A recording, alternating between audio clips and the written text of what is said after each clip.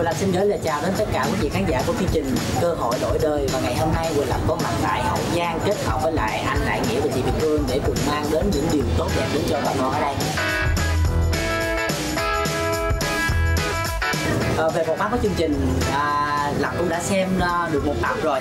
Và Lập nghĩ rằng là nó sẽ không quá khó đối với mình là bởi vì bản thân Lập là một người cũng thích vận động. Thứ hai nữa là Lập rất thích tham gia những chương trình nhân văn như vậy tức là mình mang đến những uh, giá trị về tinh thần và cả vật chất đến cho những người đang gặp khó khăn. Và từ trước tới giờ thì Lập cũng tham gia khá là nhiều chương trình với những cái uh, uh, format là giúp đỡ người khác. Nhưng riêng với chương trình này là thấy rất thú vị là bởi vì nó một cái sự kết hợp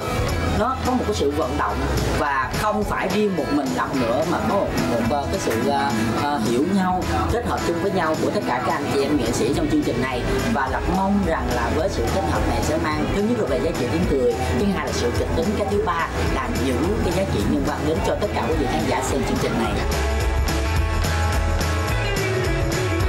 Về sức khỏe thì là không có quá e ngại về sức khỏe của mình là bởi vì ờ, bản thân lập còn rất là trẻ. Nên cái gì mang tính vận động cái gì mang tính mà giúp cho mình giải tỏa cái năng lượng mồ hôi đó thì làm cũng rất là thích là bởi vì uh, ngoài những cái việc mà làm đi show đi quay thì làm cũng có tập thể dục hoặc là tập gym. Thì đó là một trong những khoảnh khắc mà làm có thể giúp cho mình được khỏe hơn. Và chương trình này có một sự kết hợp như vậy thì còn gì bằng nếu mà nói về từ thiện thì có rất là nhiều hình thức. Có thể rằng là một người từ thiện cá nhân, hai là chúng ta có thể kết hợp thành một tổ chức để mà từ thiện, hoặc là từ thiện rồi à, âm thầm từ thiện, hoặc là mình từ thiện rồi mình có thể thông báo đến cho tất cả mọi người. Tức rằng là hình thức nào cũng cũng được cả đối với lòng miễn rằng là những giá trị tốt đẹp đó thực sự được đến với tất cả những bà con đang gặp khó khăn.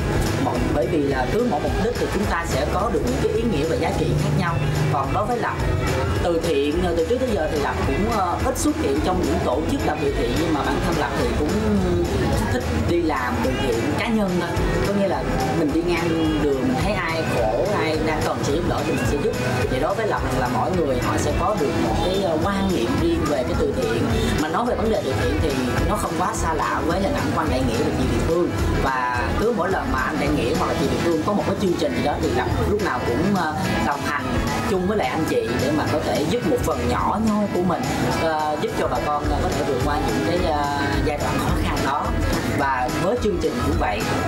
chương trình là một cầu nói đến cho khán giả. Thì khi mà những anh chị em nghệ sĩ hoặc là những vận động viên hoặc là bất kỳ một nhân vật nào xuất hiện trong chương trình này để mang đến những điều tốt đẹp đến, cho tất cả mọi người thì đó là một cái điều uh, rất là đáng được chia sẻ với cho tất cả quý khán giả đang xem trên truyền hình.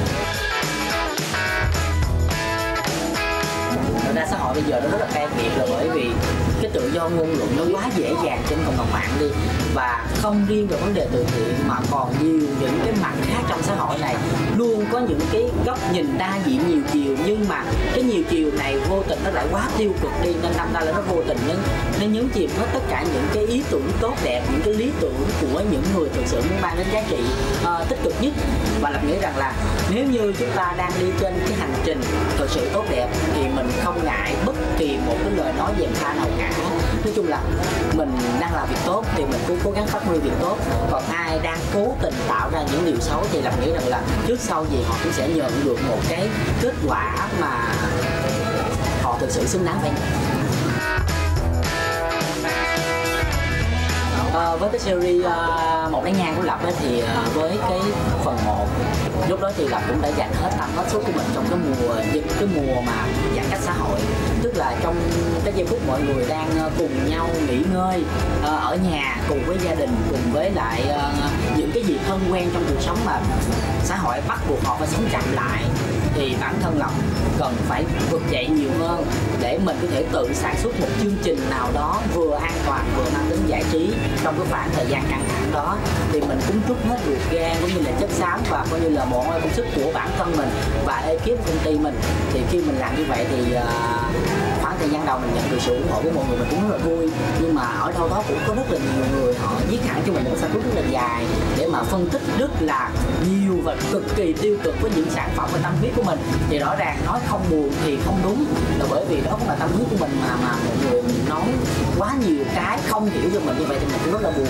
Cho nên là mình là làm đi một khoảng thời gian. Nhưng mà cũng có rất là nhiều người ủng hộ nên là quyết định làm cái phần 2 và đầu tư hơn về mặt cốt truyện cũng như là về hình ảnh. Và lập nghĩ rằng là không riêng về Missouri một miếng nhang đâu mà có rất là nhiều những sản phẩm khác trước đây cũng là như là Barodi nè, hoặc là những cái sản phẩm quảng cáo chẳng hạn, thì cũng có nhiều ý kiến đa diện nhiều nhiều và lập nghĩ rằng là lập sẽ tiếp tục bước đi dựa trên những nền tảng sự ủng hộ của mọi người, chứ lập sẽ không đi dựa trên những gạch đá của những ai không thích mình.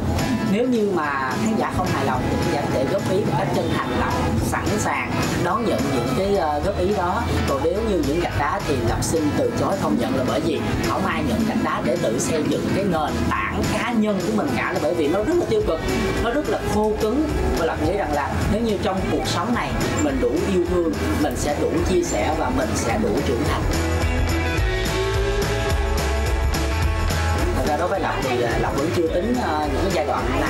khăn nhất với mình cả là bởi vì lộc còn trẻ mà cho nên là lộc rất là muốn được trải nghiệm. Cho nên mình có những cái khoảnh khắc nào thì mình sẽ bắt đầu chiêm nghiệm về nó mình cảm nhận về nó thôi. Chứ nói rằng là mình kể khổ là mình khổ nhất trong khoảng thời gian làm nghề thì không có đâu. Là bởi vì đó không phải là cái tính cách của lộc là không thích kể khổ cho tất cả mọi người mang mang mang khó khăn trong sự nghiệp thì bản thân mình cũng có tại vì đâu phải ai cũng dễ dàng khi mà đứng đến với con đường làm nghệ thuật đâu. Nhưng mà lão hiểu lý do tại sao mà cứ khó khăn đến thì mình sẽ tìm cách mình vượt qua nó thôi mình vượt qua xong cái mình mình mình thôi à. Chứ mình không có nhớ nó mình cũng không có gặm nhắm nó cho nên là bây giờ hỏi ngang lọc khoảng thời gian nào là khó khăn nhất trong cuộc đời của mình thì là không trả lời liền được. Ví dụ cho đặt thời gian làm suy nghĩ là coi cái, cái lúc nào khó khăn đây thì lập mới có thể nhớ rõ chính xác khoảng giai đoạn nào. Còn ví dụ giờ nói là khó khăn thì chắc chắn có khó khăn đó. Ví dụ như là mới vừa bước vào khoảng thời gian làm nghề đi khó khăn đó cũng y như là những khó khăn của tất cả những bạn trẻ đang bắt đầu làm nghề nghệ thuật này. Nó chật vật lắm. Là bởi vì làm nghề cần phải có những cái yếu tố như là cái tâm thì chắc chắn phải có rồi. Mình phải yêu quý cái nghề này mình mới có thể làm được. Thứ hai là có cái tầm tầm là tức là những cái khả năng. Mình mà có cái sự yêu thích mà mình không có khả năng thì cũng khó mà phát triển được. Cái thứ ba là cái duyên. Cái duyên là gì? Là cái cái cơ duyên mình được gặp người này, người kia được gặp bạn gặp đối tác và cái sự duyên dáng cá nhân nữa. Và cái thứ tư đó chính là cái cơ hội. Tức là khi chúng ta đã có được ba cái trước rồi mà không có cơ hội để mà giới thiệu bản thân mình đến cho khán giả thì khán giả cũng không biết mình là ai cả. Nên uh, để vững bước và để cho mọi người biết đến mình trên con đường làm nghệ thuật này thì đó là một cái chặng đường rất là dài. Nên là nếu như các bạn trẻ đến với cái con đường làm nghệ thuật không nó vậy là tụi mình tự nói mình không trẻ. Nếu như mà các, tất cả các bạn trẻ như làm đến với con đường làm nghệ thuật mà có gặp khó khăn thì thôi mình cứ cố gắng vượt qua những khó khăn đi rồi khó khăn để sẽ nhiều người về sau chúng ta sẽ đón nhận những cái gì tốt đẹp ở tương lai. Chưa đâu chưa hơn 10 năm đâu khoảng ờ, uh, 8 năm cái năm ờ, hơn 8 năm ờ, hơn coi là nghĩ là, là là khoảng thời gian đó là làm đã lăn lộn với nghề dùng từ lăn lộn ngay ghê quá nhưng mà rõ ràng đối với xã hội bây giờ dùng từ lăn lộn có có vẻ là khá chính xác có mọi người. Là bởi vì mình phải lăn lộn qua rất là nhiều thị phi mình phải lăn lộn qua rất là nhiều sản phẩm trên cộng đồng mạng youtube. Là bởi vì trên youtube nó không riêng là sản phẩm của nghệ sĩ mà nó còn là những youtuber nó còn là những cái review nó còn tất tần tật và rất nhiều những sự kiện xã hội khác và những sản phẩm nghệ sĩ chỉ là một góc rất nhỏ trên youtube mà thôi. Cho nên là bản thân người nghệ sĩ sẽ phải cố gắng rất nhiều để có thể để lại những cái ấn tượng sâu sắc trong lòng khán giả.